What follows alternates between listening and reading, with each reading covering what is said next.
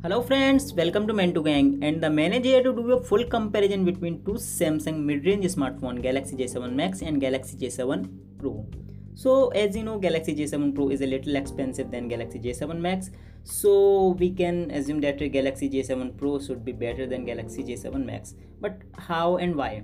And which one is good for you? Let's see in this video. In dimension, Galaxy J7 Max is bigger than Galaxy J7 Pro because of display size. And the screen to body ratio of Galaxy J7 Max is 72.5% uh, approximate, while for Galaxy J7 Pro it is 73.3% approximate. On top of front, you will get proximity sensor, front camera, calling speaker and LED flash in both devices. At bottom, you will get two capacitive buttons and one physical home button with fingerprint sensor inbuilt. Capacitive buttons are not backlit in both devices. On left, you will get SIM slot, memory card slot and volume controls keys in both devices. There is nothing on top in both devices but in Galaxy J7 Pro you can see beautiful antenna lines on top and bottom. On bottom you will get micro USB charging port, 3.5mm headphone jack and mic in both devices. On right you will get power key and media speaker in both devices. From back both are looking totally different.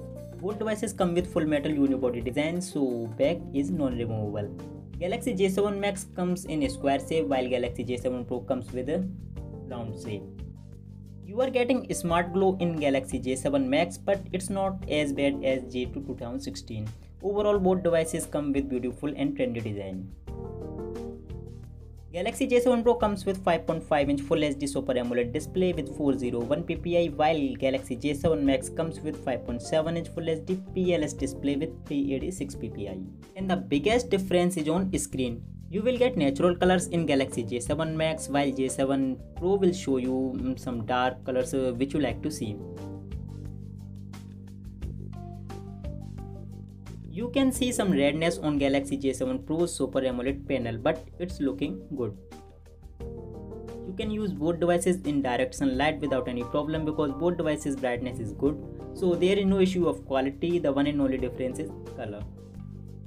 Both devices run on Android Nougat operating system 7.0 and Samsung Experience version 8.1.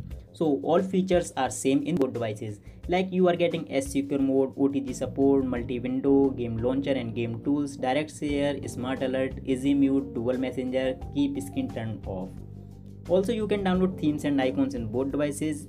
In Galaxy J7 Pro, you are getting NFC support that is not available in Galaxy J7 Max. In Galaxy J7 Pro, you are getting Samsung Pay, while in Galaxy J7 Max, you are getting Samsung Pay Mini. Also, you are getting blue light filter in Galaxy J7 Pro that is not available in Galaxy J7 Max. Galaxy J7 Pro comes with 1.6 GHz Exynos 7870 octa-core processor and Mali T830 GPU, while J7 Max comes with 2.39 GHz MediaTek 6757 octa-core processor and Mali T880 GPU. You will get 3GB of RAM and 64GB of internal memory with J7 Pro, while J7 Max comes with 32GB of internal memory and 4GB of RAM. You will get 3300 mAh battery with Galaxy J7 Max while J7 Pro comes with 3600 mAh battery. Both devices support same sensors like uh, accelerometer, proximity sensor, light sensor, gyro sensor, magnetic sensor and fingerprint sensor. So in specifications, some things are better with Galaxy J7 Pro while some things are better with Galaxy J7 Max. Now let's see AnTuTu benchmark scores to know which device is good for gaming, speed and multitasking. So in overall scores, J7 Max is beating to Galaxy J7 Pro. For gaming, J7 Max has scored 11365 while J7 Pro has scored 6825. And the punchline for both devices is game performance in mid-level.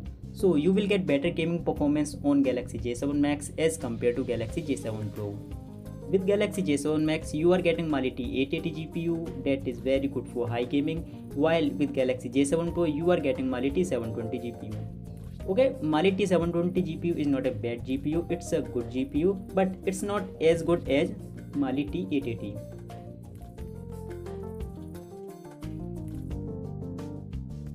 for you I both are same for C P U J seven pro has scored one seven zero three one Y J seven max has scored one five four six one and the punch line for board devices is meant to high and support large apps and multi This is the reason why people don't like MediaTek processor. Here you can see 1.6 GHz Exynos processor is better than 2.39 GHz MediaTek processor. Also the RAM management of 3 GB of RAM is better than 4 GB of RAM. So if you are thinking that uh, you can do better multitasking on J7 Max because of 4 GB of RAM and 2.39 GHz processor then you are totally wrong. J7 Pro is much better than Galaxy J7 Max for multitasking as well as speed. And the one thing, I am not saying that you can't do multitasking on J7 Max or J7 Max is a crappy device. J7 Max is a good device, you can do good multitasking on it. I am personally using this device since last month and its performance is excellent.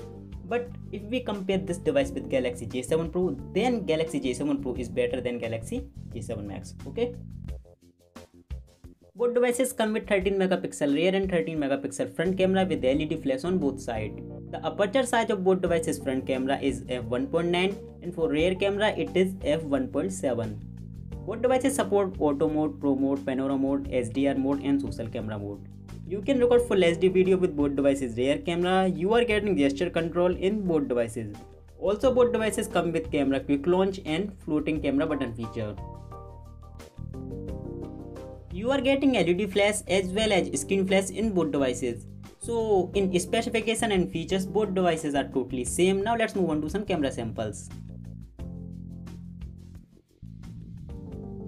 So it's not a good sample of camera review. I captured some pictures in a room but uh, I can't find any difference between Galaxy J7 Max and J7 Pro's camera. So we can say that both devices camera are same. And if you are not satisfied with this camera comparison, you can find other camera review on YouTube. So here is my final review. With Galaxy J7 Max, I am getting a bigger display, better gaming performance, all new features like multi-window, secure mode, game tools and good camera performance. Also, I can do good multitasking on Galaxy J7 Max and it completes all my need. Then why I will spend 3000 rupees more? But if I am a Super AMOLED fan and I don't play much heavy games and I need a really powerful device to do higher level multitasking like uh, i usually use 4 5 heavy apps simultaneous. Also i am a big fan of samsung pay. Then i will not see towards j7 max. So it was my full comparison between galaxy j7 max and galaxy j7 pro and i hope you will like it.